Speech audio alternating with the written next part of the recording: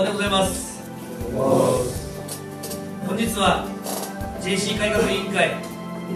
第1回新入会員セミナー修練の巻に OB 先輩をはじめ多くのメンバーの参加をいただきまして誠にありがとうございます。こういう施設を作ろうというので、えー、7年だったら8年前に秋田の卸センターにそういう道の駅的な、えー、ちょっと大規模な観光 ID を作りましておかげさまで順調になさせていただいてます。ですから 20, 20年前21年前に一度10年ぐらい前に一度、えー、来させていただいて今日は3回目ということになっています、えー、で今日はあの JC の三市場の中でも特にあの修練ということを中心にということですけれども、まあ、あの三市場はみんなやっぱりつながってますので、まあ、どれが一つこうだけを取り上げて話をしても必ず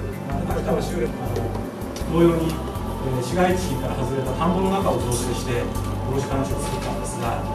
市街地がどんどんどんどん膨らんできて今ちょうど場所的に、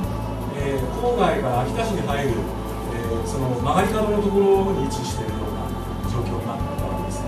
でそこに5000坪の空いてる土地があるよ。うななんか有効活用できないかなというその卸センターの中の、えー、集まりの中でぜひその秋田市の観光に役に立てるようなそういう施設を作ろうじゃないかということで、まあ、道の駅みたいなものを作りたい。ということでじゃあ視察に行こうということで山形で先々の検事になるということで、まあ、大学も入ったんですけどその時に初めてその父親といろいろと話をしまして突っ込んだ話をしてそれで、まあ、実は法学部に入って先々法律家検事になるという話をしましたがまあうちの父親なんかは自分が8代目ですから当然私が9代目